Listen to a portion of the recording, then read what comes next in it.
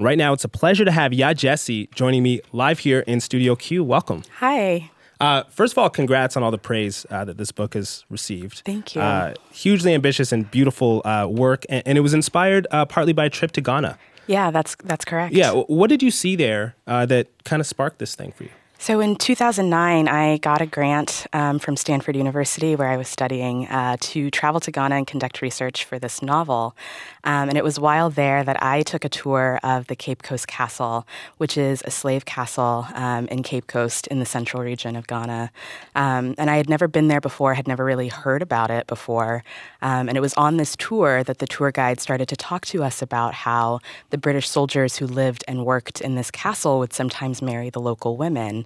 Um, and then from there, he took us down to see the dungeons. Um, and I was so struck by that the idea that there could be women up above walking free, kind of unaware of what was going on below them.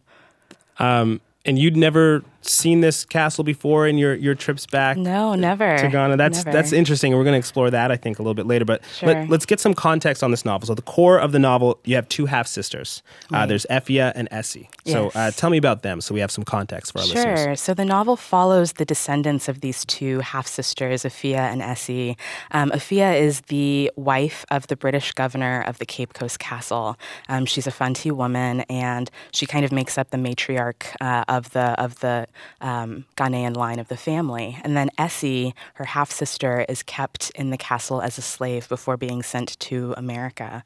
Um, and she's the matriarch of the American lineage. And so uh, the novel kind of alternates between these two, these two sisters and their descendants. So, what did you learn in your research um, about the living conditions in these dungeons uh, on the Cape Coast? Um, I, I mean, they're devastating. It's kind of impossible, I think, to, to um, articulate it quite quite right. Even if you take the tour today, um, those dungeons they still smell. They still have you know just the grime um, and and dirt from from hundreds of years of, of keeping people in in this in this um, condition.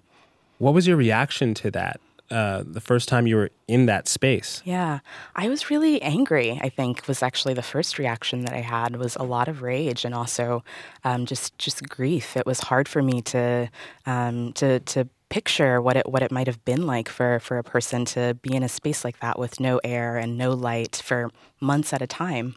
I was a bit dizzy even just reading the descriptions. I yeah. don't know if it was rage, but you know, I was actually getting physically dizzy. Yeah. Um, what about uh, Effia's uh, experience marrying a slave trader? What did you learn about um, about that and how common that would have been? Yeah, I mean, I didn't even know that was a, something that happened. Um, but my my mother is a Fanti, so she's from that that region of Ghana, and I, I was aware of certain things like um, Fanti people having um, British last names like York or Mills, um, things like that that I hadn't really pieced together uh, what it might have meant for for their um, relationship to to the British, and so that that whole aspect of the research was really eye opening for me and really kind of new.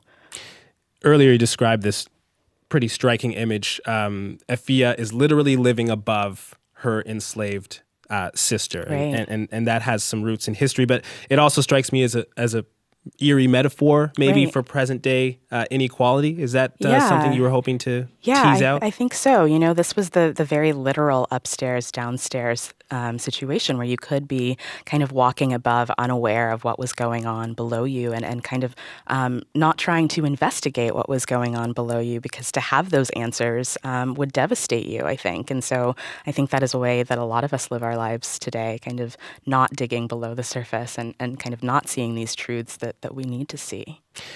There's a long history of slave narratives uh, in fiction. Um, I think this book is a bit different. What did you want to add with Homegoing?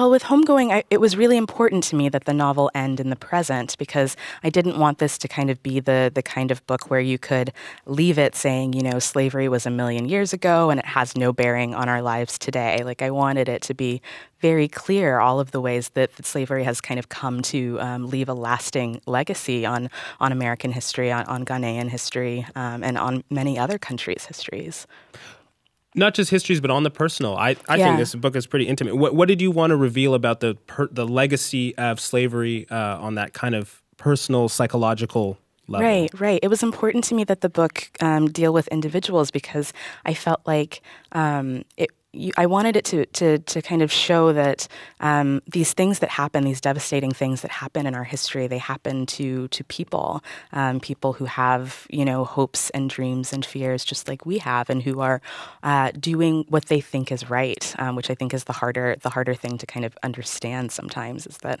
um, no one thinks that they're the villain in the story, you know. Um, you said you also wanted to explore how slavery and racism uh, has moved and changed over time throughout history over a long period of time. Right. What intrigued you about that? Well, originally I thought I would have a, a, book that just took place in the present and then kind of had flashbacks to the 18th century, uh, the height of the slave trade in Ghana.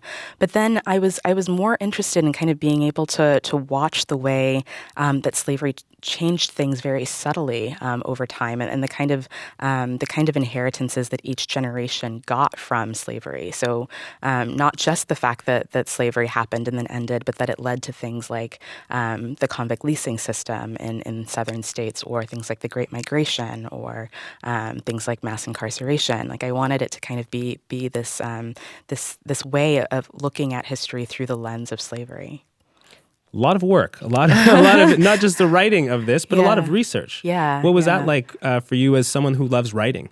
Um, the research was not my favorite part, um, but but it was something that that I think really needed to happen for this book. Um, I wrote it chronologically, and I gave myself a lot of room to um, to you know close the book when I felt like I'd gotten what I needed um, mm-hmm. in order to to have it be more reliant on my imagination because I didn't want it to feel stifled, I guess, by by the research. I didn't want the book to feel stiff with research. Now, very interestingly, uh, in this novel, you explore not only the role uh, America and Europe played uh, in building and profiting off of slavery, but the role African uh, nations played as well uh, yeah. in enabling it. Why was that uh, important to you? I'd imagine that struck you when you visited this this castle. Yeah, it, it, was important to me because I had visited the castle, and and you know, it's not something that that I had heard about very often. But um, when I took this tour, the guide made it very clear, kind of the the, the ways in which uh, Ghanaians had been involved in, in the slave trade. And I just thought, you know, you shouldn't have to take this tour to to get this information. You know, it should mm. be more readily more readily available, and, and this kind of holistic view of of the problem of slavery should be more readily available, so that if you've never gone to to Ghana, um, never gone to this Cape Coast Castle, you can still you can still know this kind of history. How much is that history in the consciousness of Ghanaians? Mm, I don't. I don't think that it's um, really that present. I, mm. you know, I talked to my parents about it, and and they said they hadn't learned about it in school really. So, um, you know, in America, we're we're kind of always learning about slavery um, in in our school systems. Some some places uh, more so than others, but um, but there there wasn't this kind of this kind of um, uh, um, emphasis on on educating people about about the role of Ghanaians in slavery.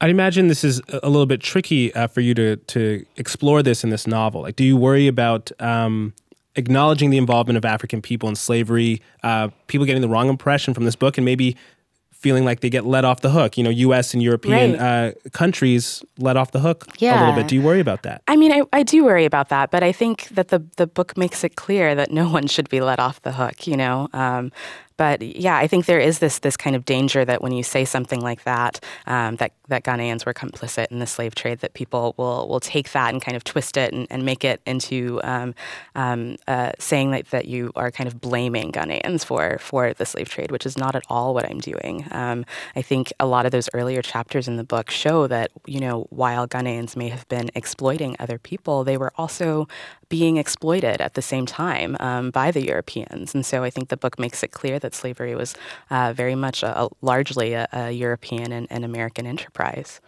Um, all this work of, of, researching history, making the connection between Africa and uh, Africans and African Americans. Um, I'd imagine that's personal for you, not yeah. just a you know creative exercise. Right.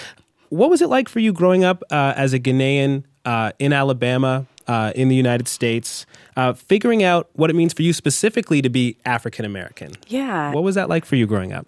It was really tricky for me, I think. You know, I, I was black in Alabama, and that that carries a certain weight. You know, it, it, carries kind of like this this fullness of of all of Alabama's really quite racist history and present.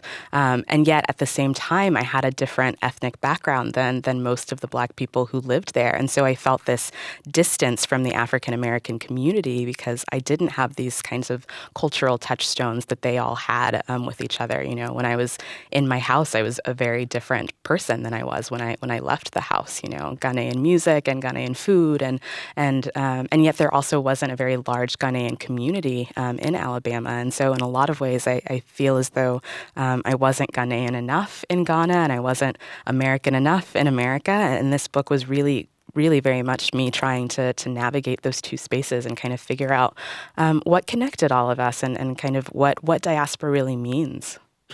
What uh, I mean, as a Rwandan Canadian, I, I resonate with a lot of what you're saying. Yeah. What what culture or um, experiences or people helped you begin that journey of kind of putting together your sen- unique sense of identity? Yeah, I think that um, that books helped a lot. I mean, Toni Morrison um, was really huge for me. I read her in high school for the first time, um, and it was the first time that I that I had ever read anything by a black woman before, and writing about um, people who looked like me, and that was kind of a radical thing in in, in my mind. And so um, I started to become more and more interested in, in African American literature, and um, was reading James Baldwin and Edward P. Jones Jones and and and then um, and then reading Achebe and people like him and kind of seeing these kinds of conversations that weren't um, really on the surface and yet I felt like they they existed somewhere somewhere below.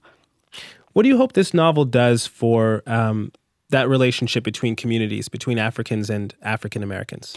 I mean, what I hope it does is that it kind of opens up these conversations that we only have in whispers, you know, about about these differences, or, or, or for people who feel these kinds of um, these kinds of distances between between themselves and um, and, and the the other community. I, I hope that it kind of um, it kind of acts as a bridge and, and a bridge that like allows people to to talk about these things that that we don't often talk about.